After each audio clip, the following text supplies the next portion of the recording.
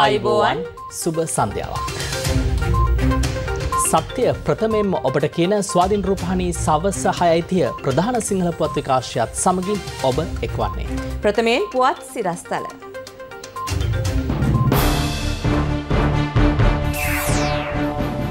බස්නාහිර පාසැල්වල පහ එකොළහා දහතුන ලබන සඳුදා සිට දොරොට්ටු විවෘතයි. අප්‍රේල් දහ නවය සියලුම ශ්‍රේණිවලට දොරොටු ඇරේ. ඔළුව නැතත් කඳ කාගේ දැයි ඊයෙන්නේ සොයාදෙයි. හර්ෂණගේ සෙල්ෆියෙන් අඟුණු කොලේ ජේලර්ගේ වැඩත් තහනම්. රටට එරෙහි අලුත් යෝජනාවලියට පටින් පැන්න පොලිසියේ කන්දප්පාත් බරටම වැඩ. ගාන උස්සන්න හදන ගෑස් සමාගමේ ගෑස්වලට ආණ්ඩුව අහක බලයි. චෝදනා ඉවතට ලූලා යළිත් ජනපති සටනට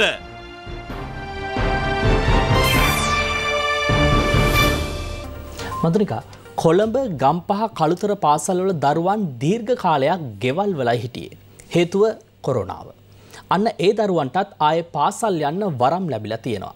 ලබන සඳුදා ඉඳලා බස්නාහිර පාසල්වල පහ එකොළහා දහතුන පන්තිවල දරුවන්ට පුරුදු විදිහට පාසල් යාමේ වරම උදා වෙනවා. ඔව් ශ්‍රීහාන් සිංහල දෙමළ අලුත් අවුරුද්දත් ඉවර වුණාට පස්සේ රටේ අනිත් පළාත්වල දරුවන්ට වගේම බස්නාහිර පළාතේ එක වසරේ දරුවන් ඉඳලම අප්‍රේල් 19 වෙනිදා ඉඳලා සියලුම පාසල් විවෘත කරන්නත් කටයුතු යොදලා තියෙනවා කියලා අධ්‍යාපන ඇමති මහාචාර්ය ජී.එල්. පීරිස් මහත්මයා අද හෙළිදරව් කළා.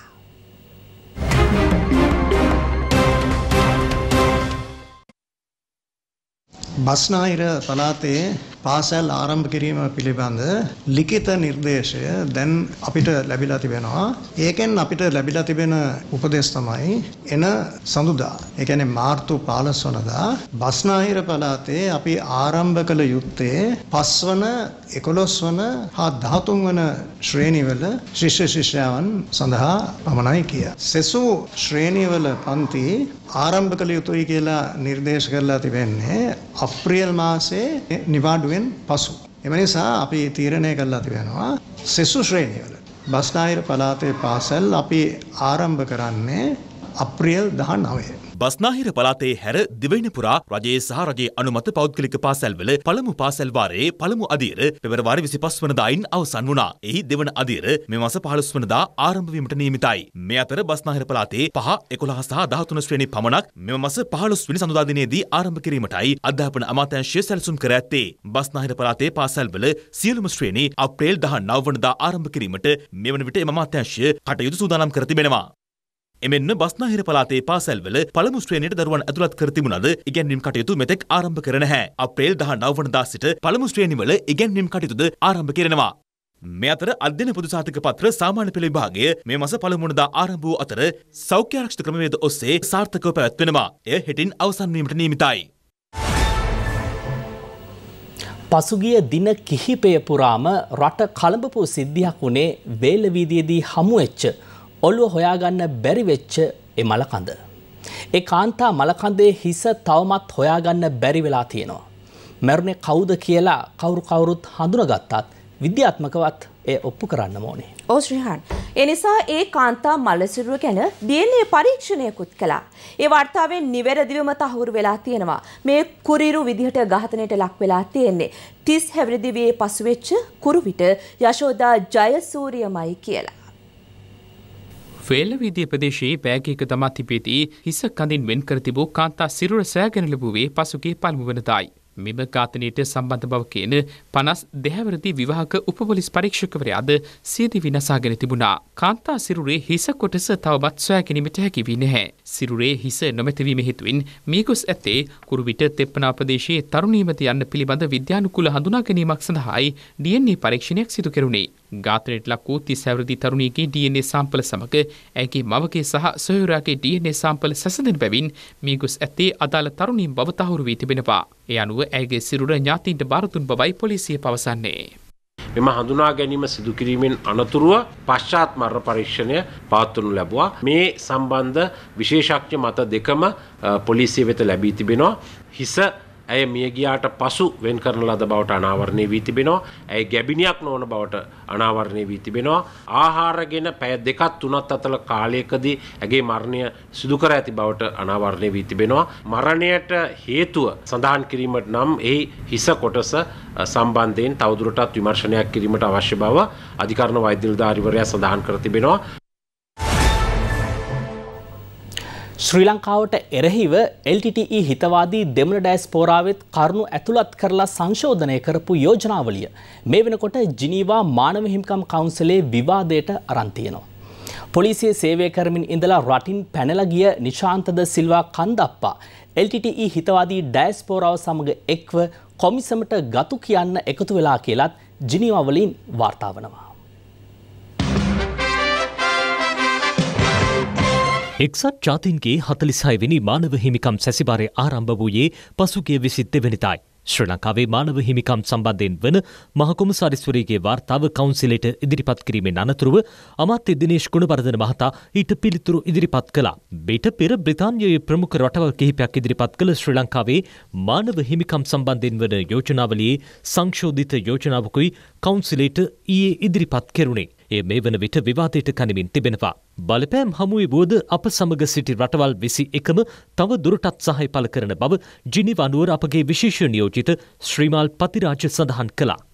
අද දිනේදී වැදගත් සිදුවීමක් සිදු වෙනවා දෙමළ ඩයස්පෝරාවත් ඒ වගේම LTT සංවිධානයත් රාජ්‍ය නොවන සංවිධානත් ශ්‍රී ලංකාවට විරුද්ධව ගෙනත් තිබෙන මානව හිමිකම් මේ වගේම යුද අපරාධ චෝදනා වලට බඳුන් වන යෝජනාව මේ මොහොත වන විට එක්සත් ජාතීන්ගේ මූලස්ථානයේදී සංවාදයට ගෙන තිබෙනවා. LTT ඩයස්පෝරාවත් ඒ වගේම LTT ත්‍රස්තවාදීනුත් රාජ්‍ය නොවන සංවිධානත් බටහිර තානාපති කාර්යාලය කීපයකුත් මේ මොහොත වන ශ්‍රී ලංකාවට පක්ෂපාතිත්වය දක්වන රටවල් 21කට ඊමේල් පණිවිඩ මගින් ශ්‍රී ලංකාවට සහයෝගය නොදෙන ලෙස බලපෑම් එල්ල කර තිබෙනවා. ශ්‍රී ලංකාවේ කලක් පොලිස් සේවයේ හිටපු නිශාන්තද සිල්වා මේ මොහොත වන විට LTT ත්‍රස්තවාදී සංවිධානයත් සමගත් ඒ වගේම LTT ඩයස්පෝරාව සමගත් රාජ්‍ය නොවන සංවිධාන සමගත් යුහුසුලුව ශ්‍රී ලංකාවට විරුද්ධව කරුණු ඉදිරිපත් කිරීමේ ක්‍රියාවලියේ නිරත වී සිටින බව දේශප්‍රේමී ශ්‍රී ලාංකිකයන් අපට පවසා සිටිනවා. මීට පෙර ශ්‍රී ලංකාවට සහයෝගය පළ කරපු සියලුම රටවල් ඒ මතේම හිතගෙන තිබෙනවා විශේෂයෙන්ම ශ්‍රී ලංකාවේ මානව හිමිකම් කැඩී නැති බවත් ඒ වගේම සංහිඳියාවට ගරු කරන රටක් බවත් ශ්‍රී ලංකාවට සහාය පළ කරපු රටවල් 21ම එම ස්ථාවරයේම සිටින ශ්‍රී ලංකාවට ලැබූ ලෙස අපි දකිනවා. මදික රටේ නීති සම්පාදනය කරන තැන තමයි පාර්ලිමේන්තුව. අන්න ඒ පාර්ලිමේන්තුවේ මන්ත්‍රීවරණුත් රටේ නීති උල්ලංඝනය කරනවා නම් රටට මොකක් වෙයිද කියලවත් හිතාගන්න බැහැනේද. පාර්ලිමේන්තු මන්ත්‍රී හර්ෂණ රාජකාරණ මහත්මයාත් කරලා තියෙන්නේ අන්න ඒ වගේ වැඩක් නේද. ඔවු ශ්‍රීහාන්. දඩුවම් ලබලා බන්ධනාගාරගත වෙලා ඉන්න රංජන් රාමනායක මන්ත්‍රීවරයා බලන්න කිය රාජකරුණ මන්ත්‍රීවරයා ගත්ත සෙල්ෆී ඡායාරූපය නිසා අද ලොකු ප්‍රශ්නයක් ඇති වෙලා තියෙනවා. මේ වෙනකොට අගුණකොළ පැලැස්සේ ජේලර්වරයාගෙත් වැඩ තහනම් කරලා තියෙනවා. අධිකරණයට අපහාස කිරීමේ චෝදනාවට වරදකර වූ රංජන් රාමනායක මෙවන විට රඳවා සිටින්නේ අගුණකොළ පැලැස්ස බන්ධනාගාරයේ. ඔහුගේ සූදුක් විමසීමට පාර්ලිමේන්තු මන්ත්‍රී හර්ෂණ රාජකරුණා මහතා පසුගේදා ගොස් තිබෙනවා. එම අවස්ථාවේ රංජන් රාමනායක සමගගත් සිල්පී ඡායරූපයක් සිය ෆේස්බුක් ගිනුමට කිරීමට හර්ෂණ රාජකරුණා මන්ත්‍රීවරයා කටයුතු කර තිබුණා. බන්ධනාගාරගතව සිටින පුද්ගලයෙකු සමග මෙලෙස ඡායාරූප ගැනීම මෙන්ම එය සමාජ මාධ්‍ය ජාල ඔස්සේ ප්‍රචාරය කිරීම නීතියට පටහැනි ක්‍රියාවක් වෙනවා.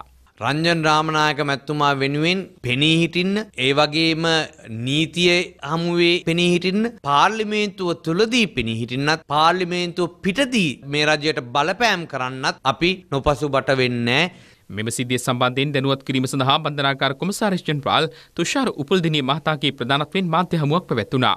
එහිදී ඒ මහතා කියා සිටියේ හර්ෂණ රාජකරුණා මහතා බන්ධනාගාරය තුළට කැඳවාගෙන ගිය ජේලර්වරයාගේ වැඩ තානම් කළ බවයි.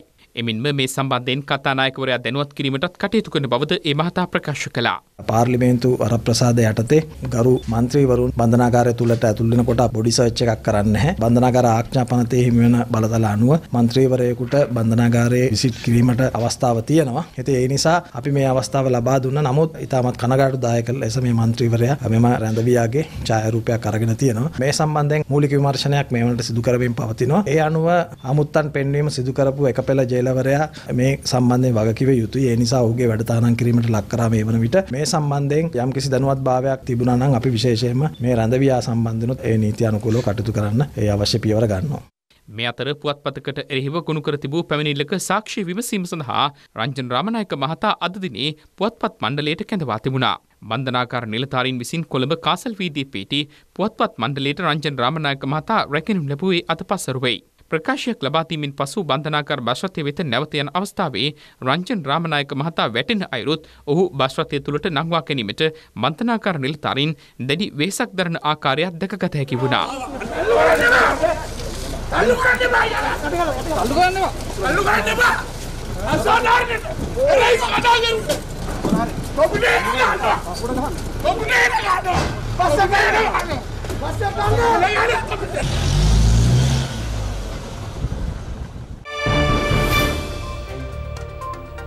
මේ වෙනකොට කොරෝණ ආසාධිතයන් හමුවීමේ ප්‍රබල අඩවීමක් පෙන්නුම් කරනවා. ඒ වනත් සෞඛ්‍යංශ අවධාරණයෙන්ම කියන්නේ සෞඛ්‍ය නීතිරීති කිසිම අඩුවක් නැතිවම පිළිපදින්න කියලයි. කොරෝනා තත්ත්වය වගකිව යුතු සියලු අංශ එකතු වෙලා ඒ විදිහට පාලනය කරද්දී කොරෝනාවට එරෙහි එන්නත් වැඩපිළිවෙලත් කිසිදු අඩුපාඩුවක් නැතුවම දිනපතාම සිද්ධ වෙනවා.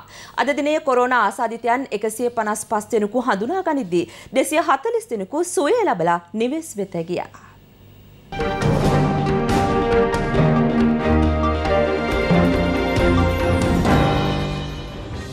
ගෙවුණු පැය විසි හතරේදී අපේ රටේ කොරෝනා ආසධිතයන් වැඩිම සංඛ්‍යාවක් වාර්තාාවුණු දිස්ත්‍රික් බවට පත්වනේ ගම්පහ කොළඹ සහ ගාල්ල කියන දිස්ත්‍රික්. එත් එක්කම මිනොන්ගොඩ සහ පෑලියගොඩ කොවිඩ් පොකුරෙන් වාර්තාාවී ඇති සමස්ත ආසධිතයන් සංඛ්‍යාව අසූ දෙදහස් දෙසීය මේ වෙනකොට ඉක්මා ගොස් ඇති බවත් ඒ අතරින් අසූ එක්දහසකට වැඩි පිරිසක් පූර්ණ වශයෙන්ම සුවේ ලබා ඇති බවත් සෞඛ්‍යංශ ප්‍රකාශ කරනවා. අපි ලෝකයේ පැත්තට හැරලා බැලුවොත් ගෙවුණු පැය විසි හතරේදී ලෝකයෙන් කොරෝනා මරණ හයදහස් හාරසීකට වැඩි සංඛ්‍යාවක් වාර්තා වුණා. මේ තොරතුරුත් එක්ක අපි අදත් බලමු කොරෝනාව සම්බන්ධයෙන් වාර්තා වන අලුත්ම තොරතුරු මොනවද කියලා. බෙරටින් වාර්තා වන සමස්ත කොරුණ ආසාධිතයන් සංඛ්‍යාව අසූහය දහස් එකසි අනු හතරක් දෙදහස් නවසේ තිස් හතර දෙනෙකු රෝහල්වල සහ අතරමැදි ප්‍රතිකාර මධ්‍යස්ථානවල ප්‍රතිකාර ලබනවා. පූර්ණ සුව ලැබූ සංඛ්‍යාව අසූ දෙදහස් හත්සේ පනස්තුනක්.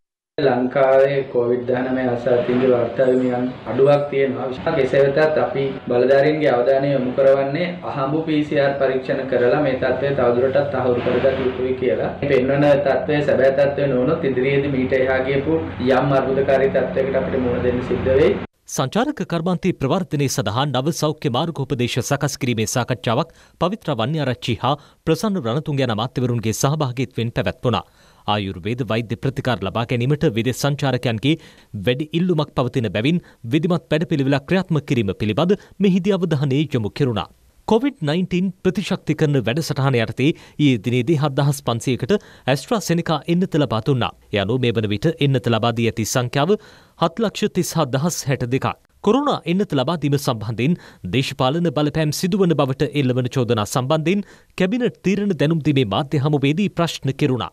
අපි රජය බොහම පැහැදිලිව එය ප්‍රතික්ෂේප කරනවා. සහ එවැනි කිසිම කටයුතු ඉඩක් නැමැති බවත් එම වැඩසටහන ක්‍රියාත්ම කිරීමේ සම්පූර්ණ බලය සෞඛ්‍ය අමාත්‍යාංශ අධීක්ෂණයේ යටතේ මහජන සෞඛ්‍ය පරීක්ෂකවරුන් සහ සෞඛ්‍ය වෛද්‍ය නිලධාරීවරුන් අතුරු කාර්ය මණ්ඩල මගින් සිදු කරනවා. විශේෂයෙන් මේ සම්බන්ධයෙන් පැමිණිලි තිබෙනවා නම් ඒ පිළිබඳව කටයුතු කිරීමට අපට හැකියාවක් තිබෙනවත් අපි ප්‍රකාශ කරනවා. ඉන්දියාවේ සීරම් ආයතනින් ඇස්ට්‍රාසෙනකා එන්නත ඉදිරියේදී ලබා ගන්නා ආකාරය සම්බන්ධයෙන්ද පැහැදිලි කෙරුණා. ඉන්දියාවෙන් ගෙන්නන එන්නත් ප්‍රමාදවීම සම්බන්ධයෙන් දැඩි කතාබහක් ඇති වෙලා තියෙනවා. ඇත්තටම අනෙකුත් රටවලට සාපේක්ෂව ශ්‍රී ලංකාවට දැනට ලැබී තිබෙන එන්නත් ප්‍රමාණය ගැනත් අපි සතුටට පත්විය යුතුයි දැනටමත් එන්නත එකම මාත්‍රාවක්වත් ලැබිලා නැති රටවල් එකසේ දහකට වැඩි ප්‍රමාණයක් ලෝකෙ තිබෙනවා.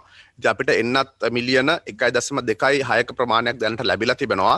සීරම් ඉන්ස්ටිටියුට් ඔෆ් ඉන්ඩියා කියන මෙම නිෂ්පාදන සමාගමේ ඇතිවෙච්ච ගින්නත් හගින්න නිසා සුළු ප්‍රමාදයක් ඇතිවීමේ අවකාශයක් තිබෙනවා. හැබැයි ඔවුන් අප විසින් කරන ලද ඇනවුම ඇමනවුම ගරු කරන්න බවත් ඉදිරියේදී හැකිතාක් ඉක්මනින් එම එන්නත් ලබාදීමට කටයුතු කරන බවත් ප්‍රකාශ කළ තිබෙනවා.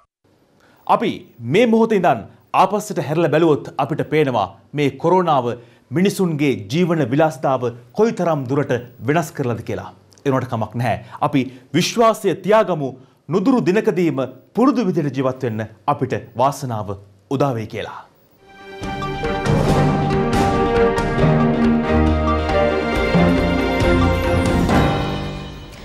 පාස්කු ප්‍රහාරයට අනුබල දීලා ඒකට මුදලුත් ලබා දුන්නා කියලා සජිත් පිලේ පාර්ලිමේන්තු මන්ත්‍රී අශෝක් අබේසිංහ මහත්මයා ජනාධිපති ගෝඨාභය රාජපක්ෂ මැතිතුමාගෙත් බැසි රාජපක්ෂ මහත්මයාගෙත් නම් සඳහන් කරලා පහුගිය දවසක ප්‍රකාශයක් කරලා තිබ්බා. මේ කතාවේ ඇත්ත නැත්ත හොයන්න කියලා ආණ්ඩුවේ මන්ත්‍රීවරුන් පිරිසක් CIDට කරපු පැමිණිල්ලට මේ වෙනකොට පරීක්ෂණ ආරම්භ කරලා තියෙනවා. කුරුණෑගල ප්‍රදේශයේ පැවති ජනහමුවකදී පාර්ලිමේන්තු මන්ත්‍රී අශෝක් අබෙසිංහ මහතා කළ ප්‍රකාශයක් සමාජ මාධ්‍යජාලවල මෙලෙස ප්‍රචාරය වනවා. දෙදස් පහළ විස්සේ ආණ්ඩුව වැටුණා. මේ රනිල්ගේ වැරද්දෙන් සහ පාස්කු ප්‍රශ්න නිසා. මහ බැංකු ප්‍රශ්නේ පාස්කු ප්‍රශ්න. හිට අනිත් ඕගොල්ලන්ට එළිවේ පාස්කු ප්‍රශ්නේ කවුද කෙරුවේ කියලා. පාස්කු ප්‍රහාරය කෙරුවේ ගෝඨාභයයි බැසිල්ලා එකතු වෙලා. ඒකට සල්ලි දුන්නේ නිස්සංක සේනාධිපති. එම බරපතල ප්‍රකාශය ගැන පරීක්ෂණයක් පවත්වන ලෙස ශ්‍රී ලංකා පොදුජන පෙරමුණේ පසුපෙළ මන්ත්‍රීවරුන් කණ්ඩායමක් අපරාධ පරීක්ෂණ දෙපාර්තමේන්තුවෙන් ඉල්ලීමක් කළා. ඒ අනුව අපරාධ පරීක්ෂණ දෙපාර්තමේන්තුවට පැමිණෙන ලෙස දැනුම් දුන්නද ඔහු ඊයේ දිනෙන් මෙන්ම අද දිනේද පැමිණියේ නැහැ. අශෝක් අබේසිංහ මහතා වෙනුවෙන් අද දිනේ අපරාධ පරීක්ෂණ දෙපාර්තමේන්තුවට පැමිණියේ ඔහුගේ නීතිඥවරයෙකු පමණයි. ගෑස් සමාගම් පාරිභෝගිකයාට විටිං විට ගෑස් පෙන්නන එක හැම කාලකදීම දකින්න ලැබෙන දෙයක්. අයත් ගෑස් සමාගම් ගෑස් මිල ඉහළදාන්න ඕන කියලා යෝජනා කරලා තියෙනවා. හැබැයි ආණ්ඩුව ඒ ඉල්ලීම ගැන කිසිදු අවධානයක් යොමු කරලා නැහැ කියලා කැබිනත් තීන්දු ගැන දැනුම් දෙද්දී උදේ ගම්මන් පිළ ඇමතිවරයා අද මාධ්‍යයට කිව්වා. කිලෝග්‍රෑම් දොලායි දශම පහ ගෘහස්ත ගෑස් සිලින්ඩරයක් අලෙවි කරන්නේ රුපියල් එක්දා සාරසය අනුතුනකටයි. ලෝක වෙළඳපොලේ ගෑස් මිල විශාල වශයෙන් ඉහළ යාමක් සිදු ඇති බව මෙරට ගෑස් සමාගම් පෙන්වා දෙනවා. ඒ හේතුවෙන් ගෑස් සිලින්ඩරයක මිල රුපියල් දෙදහස් එකසි හතලිස් අටක් දක්වා රුපියල් හත්සියකින් පමණ ඉහළ නැංවීම සිදු කරන ලෙසටයි ගෑස් සමාගම් ඉල්ලා සිටින්නේ.